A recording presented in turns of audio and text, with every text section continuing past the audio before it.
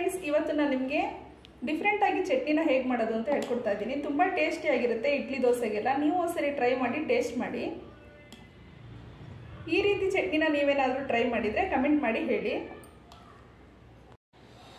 ಚಟ್ನಿಗೆ ಬೇಕಾಗಿರುವಂಥ ಸಾಮಗ್ರಿಗಳು, ಒಣಮೆಣ್ಸಿನ್ಕಾಯಿ, ಹುರ್ಗಡ್ಲೆ, ಹಸಿಮೆಣ್ಸಿನ್ಕಾಯಿ, ಹುಣಸೆಹಣ್ಣು, ಕರಿಬೇವು ಕೊತ್ತಂಬರಿ ಸೊಪ್ಪು, ಬೆಳ್ಳುಳ್ಳಿ, ತೆಂಗಿನಕಾಯಿ, ಉಪ್ಪು. ಒಂದು ಜಾರಿಗೆ ಚಟ್ನಿ ಮಸಾಲೆ ಹಾಕೋತಾ ಇದ್ದೀನಿ. ಹತ್ತು ಒಣಮೆಣ್ಸಿನ್ಕಾಯಿ ತೊಗೊಂಡಿದ್ದೀನಿ. ಖಾರ ಸ್ವಲ್ಪ ಜಾಸ್ತಿನೇ ಹಾಕೋತಾ ಇದ್ದೀನಿ. ನಿಮ್ಗೆ ಎಷ್ಟು ಬೇಕಷ್ಟು ನೋಡಿ ಹಾಕ್ಕೊಳ್ಳಿ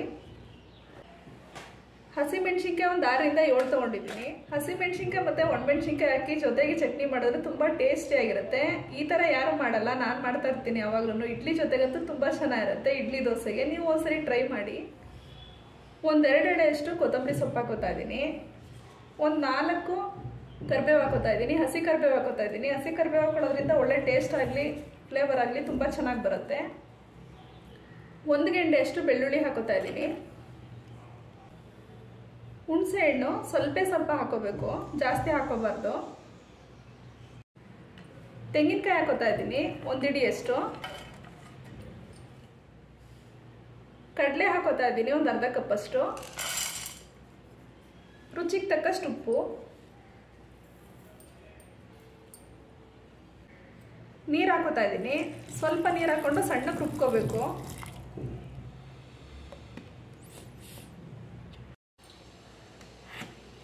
ಇವಾಗ ಚಟ್ನಿ ರೆಡಿಯಾಗಿದೆ ಸ್ಪೈಸಿಯಾಗಿರುತ್ತೆ ತುಂಬ ಚೆನ್ನಾಗಿರುತ್ತೆ. ನೀವು ಒಂದ್ಸರಿ ಟ್ರೈ ಮಾಡಿ ಟೇಸ್ಟ್ ಮಾಡಿ. ಯಾವಾಗಲೂ ಒಂದೇ ರೀತಿ ಚಟ್ನಿ ಮಾಡ್ಕೊಳ್ಳೋದಕ್ಕಿಂತ ಈ ರೀತಿ ಚಟ್ನಿ ಮಾಡ್ಕೊಳ್ಳಿ, ತುಂಬ ಚೆನ್ನಾಗಿರುತ್ತೆ ಟೇಸ್ಟಿಯಾಗಿರುತ್ತೆ ನೀವು ಒಂದ್ಸರಿ ಟ್ರೈ ಮಾಡಿ ಟೇಸ್ಟ್ ಮಾಡಿ, ಹಾಗೆ ನನ್ನ ಚಾನಲ್ಗೆ ಸಬ್ಸ್ಕ್ರೈಬ್ ಆಗಿ. Thank you